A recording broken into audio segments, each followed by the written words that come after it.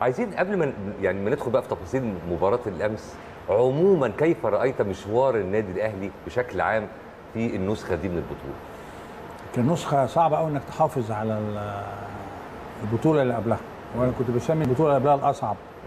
إنك أنت كانت غايبه عنك آه، بقالها ما سبع سنين تقريبا. كتير يعني.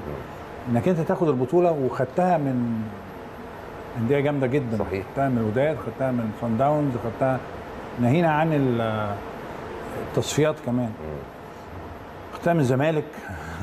ودي أنا كنت بسميها البطولة الأفضل بالنسبة لي.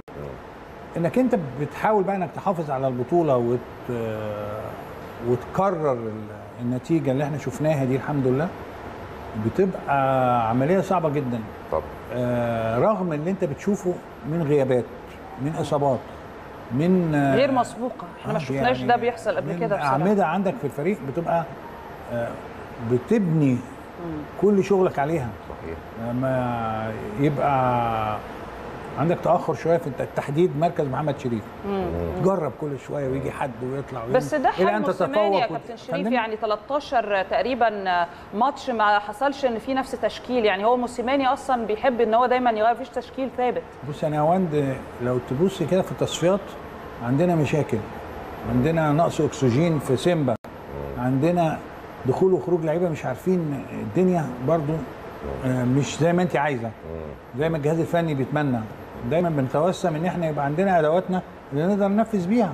نقدر يبقى لينا إسمنا الكبير في أفريقيا اللي هو خلاص الحمد لله بعد العشرة كمان وقبل العشرة وكل حاجة هو النادي الأهلي. يعني النادي الأهلي ده بالنسبة للعالم كله دلوقتي بقت حكاية لازم تتفرجي عليها لازم تدرسيها لازم تحتذي بيها لازم تشوفي بيبتدوا منين وينتهوا إزاي.